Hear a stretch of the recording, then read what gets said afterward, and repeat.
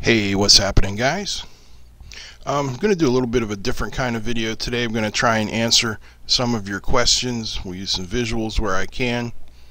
And, uh, I don't know, just try and switch it up a little bit. Keep it interesting. Um, another thing, a few days ago I mentioned that I'm going to try and knock off the reviews for a while. It just doesn't seem to be possible because stuff just keeps rolling in. So here is what I'm going to do.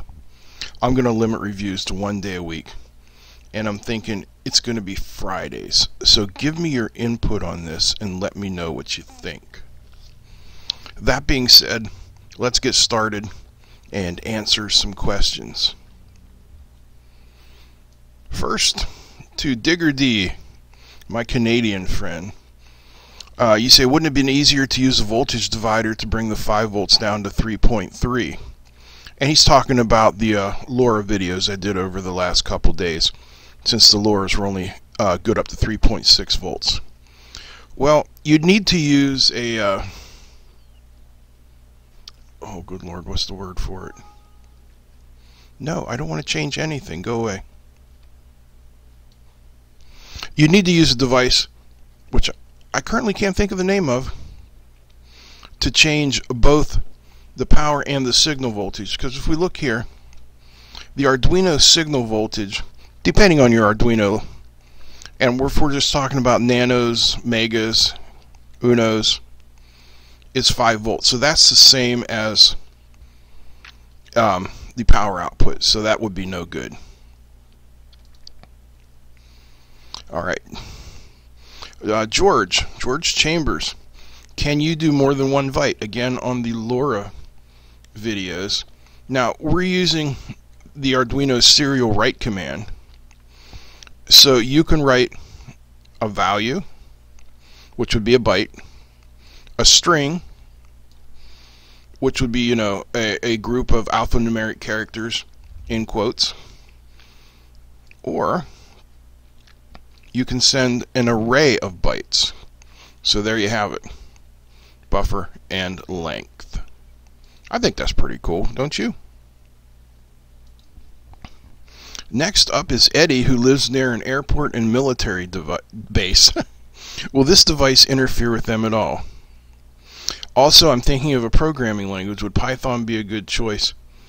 Uh, Eddie, I'm not a programmer, man. I muddle through. I learned BASIC back when I was a kid, and the last programming course I took in college was in Turbo Pascal.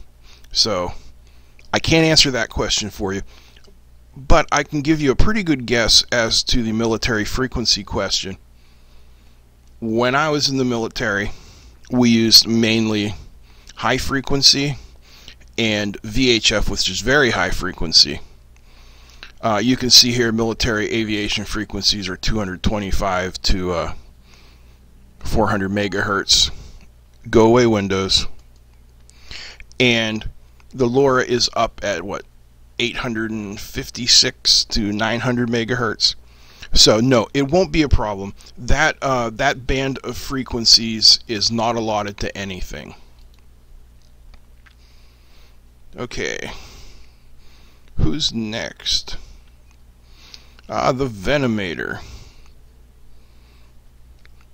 Okay, what did Venomator say? Uh, I'm sure it probably does a little bit more than turning the LEDs on and off. Yes. Basically, the LoRa is just a way to take your Arduino data and put it into a low power, long range radio signal.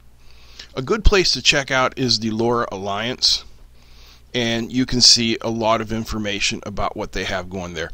But to answer your question, you know, you can send bytes, you can send strings, you can even set up your own WAN with it. No problem at all.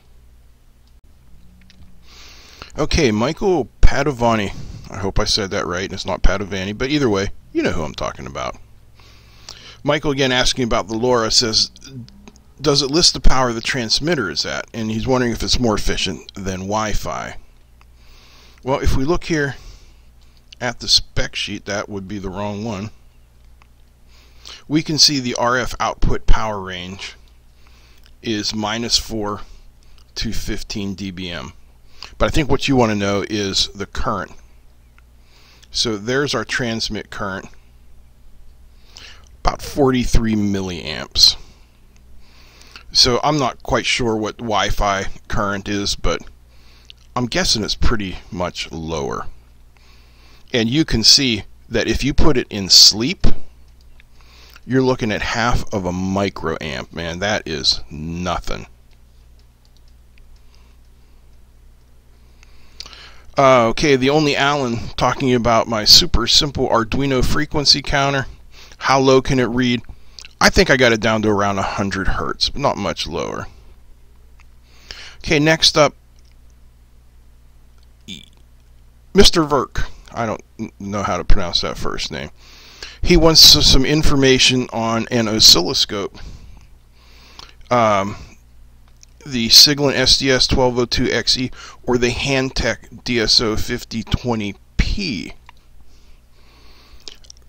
Um, your your choices in this range of scopes is, is pretty wide open, but I'm going to recommend to you the Hantek DSO 5072P, which comes pre-hacked from the factory at 200 megahertz, 1 gigasample per second um, you say you have about 370 pounds to spend.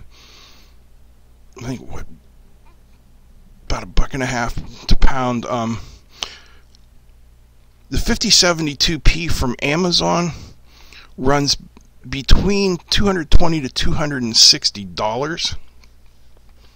So I guess that would probably be like around what 200 to 220 pounds. It's available in my Amazon store, but you know, I'm not telling you to buy it from there. You can get it anywhere. Just remember, Hantek DSO 5072P. All right, Chris Teodorsky. He is talking about the MR300 antenna analyzer. His came uncalibrated. How do you calibrate it? Well, Chris, it's pretty easy. You go into the config menu. You, by hitting the config button, you go to calibrate, and you hit I think I just hit either the up or the down button to get it started. And when you first start, you're going to leave the connectors unconnected. Then it wants a 50 ohm resistor, then 150 ohm, and then I think like 450 ohm. So that's all you do is put the resistors on there when it's telling you. All right, next up, Masood Hossein. He wants to turn on a relay for 20 minutes or in another for 30 minutes. How does he calculate the resist the capacitor and resistor. Well, that's your RC time constant. So the easiest way to do it is just type in um, RC time constant calculator. This one is from DigiKey, and it's going to bring it up. So you're going to need to know voltage. Um, let's assume you're dealing with Arduino. You can change this as you need. So 5 volts. Let's say a capacitance, in your case, probably 2200 microfarad and a load resistance of 10k okay that's going to give you 22 seconds so we know we need to increase that by factor of 10 oh that's, that's pretty much about what you wanted isn't it so 10k and 2200 play with these values and you'll get just about where you want to be it's pretty easy to do all right, back to Digger D from way up in Canada. I don't know where in Canada I just said that. How many bytes can one transmit in a string? Man, I'm just guessing here. I'm going to guess 256 bytes. Three kilometers, really? Yeah, LoRa is um, very long range, very low power. And let's see, transmission rate. I don't know if it's on here or not. Yeah, I'm not really sure about it. Let's see if they have anything on the other one. Software, AT mode. That's the UART baud rate. There's our bandwidth. AT address. Yeah, it really doesn't say anything, but my best guess is as fast as the Arduino can transmit. It's ultra high frequency, so it's going to be pretty fast. Uh, Phil Chandler wonders if I have input volume switched on my audio recorder. I don't use an audio recorder. I record my videos on my old Samsung Galaxy S4 with a headset mic plugged in. And I don't have central air conditioning in my home. There is a window air conditioner right by my desk. And it's extremely hot and humid right now, so it's been switched on. James Kearns Jr., are you sure this thing is okay to use with 5 volt logic levels? Nope, not safe at all. George Chambers, could this LoRa be used like an olden times Loran? Okay, um, I don't know about it. Loran was, um, it was like the forerunner to GPS. I'm not sure the technology it worked on. You can connect multiple LoRa's together in a star configuration. That's LoRaWAN, and it's very cool.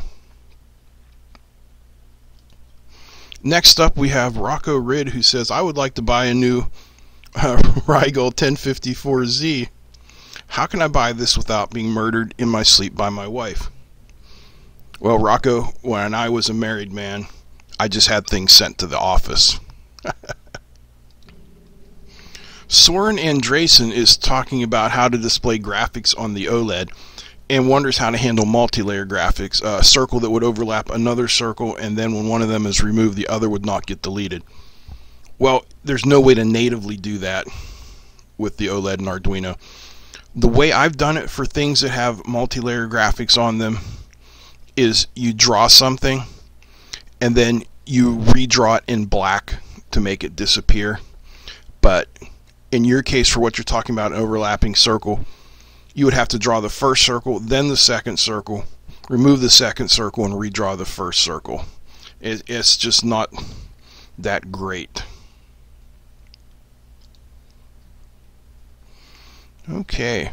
Rob Webster, I can't believe I missed the reverse cap. That was on the uh, piano synth. Well, neither can I. okay, uh, the Aardvark guy says he's just learning and hello from the UK. Well, hello from. I'm actually in Ohio, but I'm very near Pittsburgh, Pennsylvania. That's a good landmark to give you. Mr. Lee, I know it's an old video, but is there a version of this for three batteries in series? And he's talking about the TP4056 uh, LiPo balance and charge board. Actually, it's not a balance board, it's a charging protection circuit. I can't tell you guys how many times I've received that exact question. No, the TP4056 is for one cell only. Don't try and force it or you're going to have bad things happen. Rocco again, will you ever try the TS100 soldering iron? Yes, I will. As soon as Banggood sends me one. All right, one last one real quick here. Mick King asked, "Do you ever have a component that just won't solder?" Yes. I've had many of them. They're usually from cheap Chinese kits. You can try to put a lot of flux on the joint, but what I found that works best is to get a Scotch-Brite pad and just kind of buff the joint a little. Okay guys, that's going to do it for today's video. Thanks for watching. I hope you enjoyed it. If you did, give me a thumbs up. Feel free to comment, share, and don't forget to subscribe. That's it. I'm out. Peace.